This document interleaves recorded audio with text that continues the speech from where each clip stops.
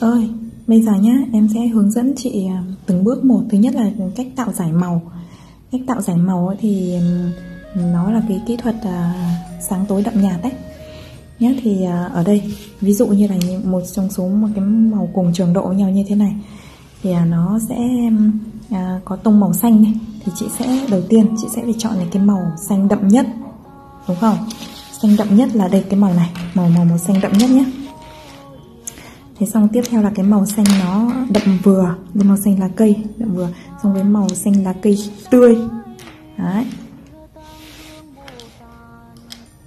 Sau đó là cái màu xanh ừ, gần với màu xanh cốm ấy. Màu màu xanh non ấy. Ở đâu ở đâu, cái cái màu xanh này nữa chứ đây thì chị xem. Nhá. Thì là đây, thì chị sẽ có ít nhất là phải dùng đến 5 màu như thế này thì chị sẽ bắt đầu từ cái màu xanh đậm nhất này nhé. Này, chị, theo đúng cái thứ tự này em thử vẽ cho chị xem. Ví dụ đây.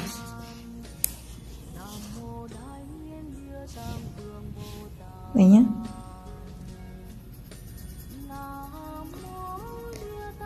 đấy. Càng về sau chị càng cho nó nhạt dần nhạt dần một chút. Cái này là lực nhấn tay mình phải tự điều chỉnh đấy mình nối màu nó không bị đột ngột ấy. Đấy. Dừng lấy cái màu xanh tiếp theo. Màu xanh này. Nối vào chị ạ. Bắt đầu nhé chị nhìn này.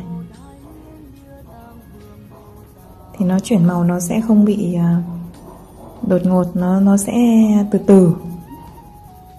Đến đây thì mình nhạt thôi. Di ngón tay nó nhạt. Đấy, dừng tiếp theo cái màu xanh nữa. Nó nhạt hơn một tông nữa. Đấy, tiếp tục nối vào đây.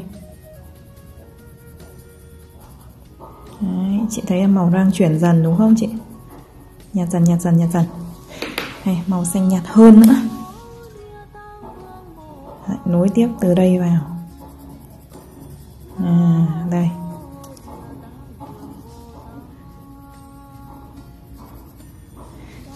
Và cuối cùng là cái màu xanh cốm non nhất này. Đây chị nhìn nhé. Nhạt lắm ấy nó còn pha cả màu vàng vào nữa. Thì mình tiếp nối vào đây à đây đây bây giờ một giải màu cái này là tạo giải màu đấy chị. Bây giờ nhá để chị có thể làm như thế này để chị liên kết lại những cái màu này với nhau. Đấy thì chị có thấy là nó, nó chuyển màu mình không phát hiện ra là nó nối từ cái màu nọ sang màu kia. Mình tưởng đấy là một màu nó phai dần phai dần loang dần loang dần đúng không chị? Đấy.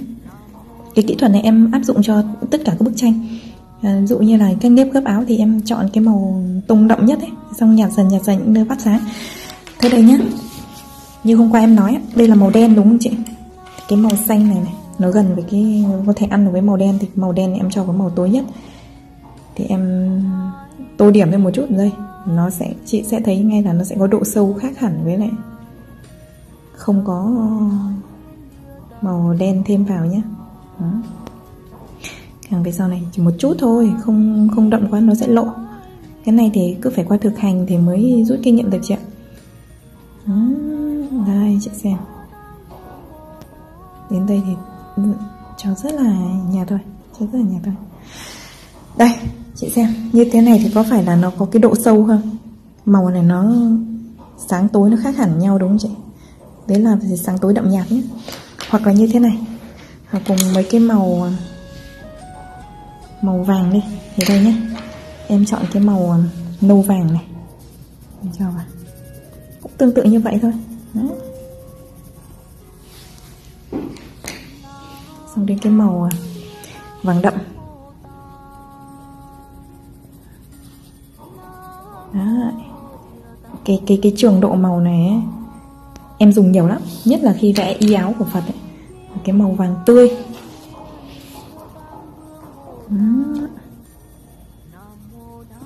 Cái màu này rất là đẹp. Cuối cùng màu vàng nhạt. Vàng nhạt nhất. Đấy chị thấy. Đúng không? Chuyển màu như thế này đấy, đấy rất là đẹp. Vậy cho thêm một chút màu đen vào đây nữa. Một chút thôi một chút thôi. Nó sẽ sâu hẳn.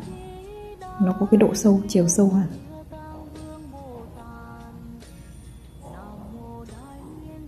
Phải tất cả đâu, chỉ một chút ở gốc này, loang loang loang một tí thôi. Rồi, chị thấy như thế nào chị? Ví dụ bây giờ em sẽ vẽ một cái lá bồ đề, và em thử tô nhé. Chị nhìn này, bây giờ em dùng bút chỉ chỉ kim ấy.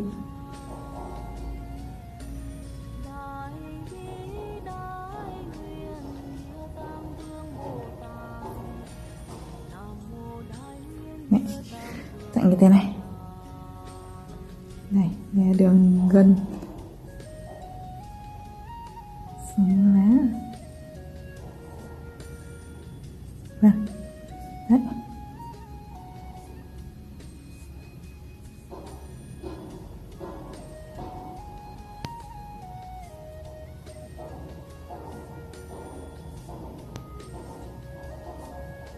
Vâng là như vậy đại khái là như vậy bây giờ em chọn cái màu à, cái màu nâu đậm lúc nãy đấy em sẽ dùng cái trường độ này nhé. Cái này nó phù hợp với lá. Thì bắt đầu từ cái gốc lá này chừa một chút thế viền đấy chứ bắt đầu. Thế này nhá thoáng thoáng này. Chừa những cái đường gân này ra. Đây là em vừa quay vừa tô vẽ nên là nó sẽ không thể nào đều đẹp bằng cái lúc mà em tập trung em không có bận bịu gì hai tay em hoàn toàn điều khiển đấy thôi chị à, chịu khó xem tạm vậy. Đấy đây từ cái gốc này này, đấy.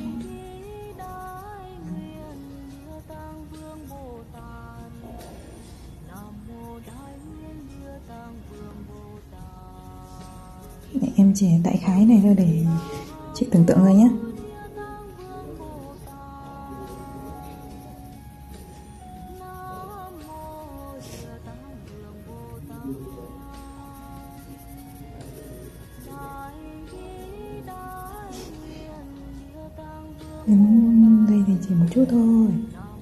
Chút thôi cái này. Rồi không phải tất cả chị nhé rồi, tiếp theo em dùng cái màu vàng đậm nhưng mà nó vẫn tươi hơn cái màu đầu tiên một tông. Em tiếp nối vào. Đây.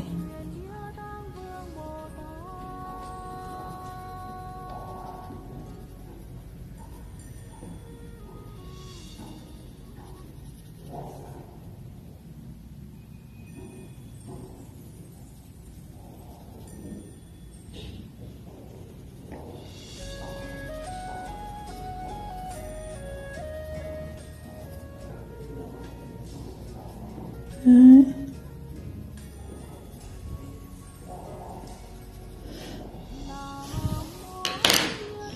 Rồi tiếp theo cái màu vàng tươi.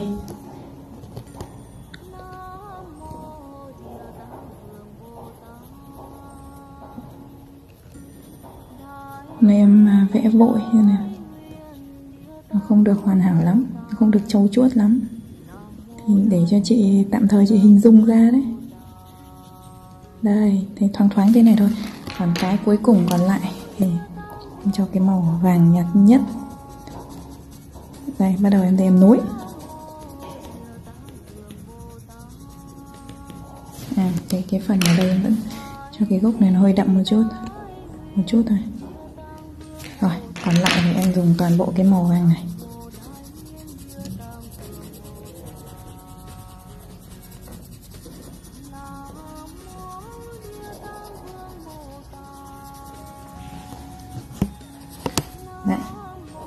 Chị xem. Đây nó vẫn có cái Sự khác biệt ở đây Cuối cùng cho màu đen để nhấn vào cái này, này. Cái phần cuống lá này đấy. Thì bao giờ nó cũng có xuống là nó héo héo hơn đúng không chị? Màu nó úa úa hơn. À, từ những cái gốc này. Và những cái kẽ giữa hai gân lá này một chút điểm xuyết một chút thôi. Và phải rất nhẹ tay. Không nó sẽ lộ nó sẽ buồn cười lắm nó sẽ vô lý. Đấy. đây càng về bên ngoài đây thì càng nhạt càng tỏa ra chỉ đậm một cái phần gốc này thôi. Thế đây chị xem này một cái lá nó em vẽ vội thôi nhưng mà mình đã thấy được cái cái, cái đường gân nó nó tương tự như vậy đấy còn cái em mà dùng hai tay thì em vẽ thì tô phải đẹp và chuẩn hơn nhiều. Cái này phải nhìn qua điện thoại quay vào tô nên nó không được chuẩn ấy. Đấy là để chị mường tượng như vậy.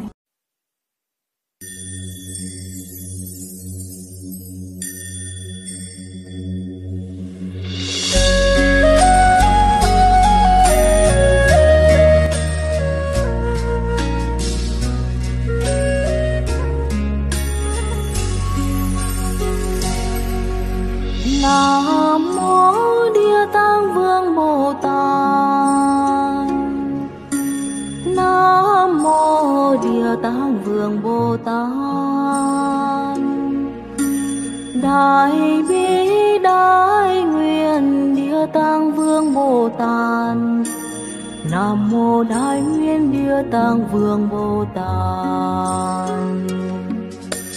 Nam mô địa tạng vương bồ tát. Nam mô địa tạng vương bồ tát. Đại bi đại nguyện địa tạng vương bồ tát. Nam mô đại nguyện địa tạng vương bồ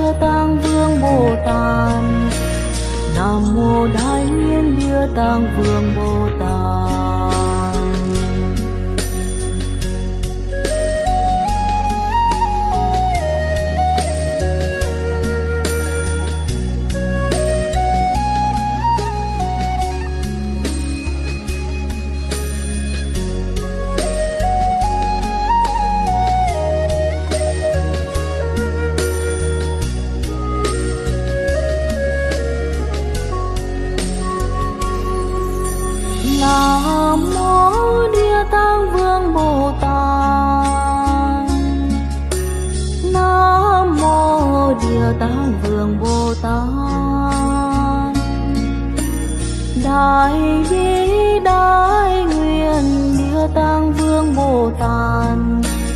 Nam mô đại nguyện địa tạng vương bồ tát. Nam mô địa tạng vương bồ tát. Nam mô địa tạng vương bồ tát.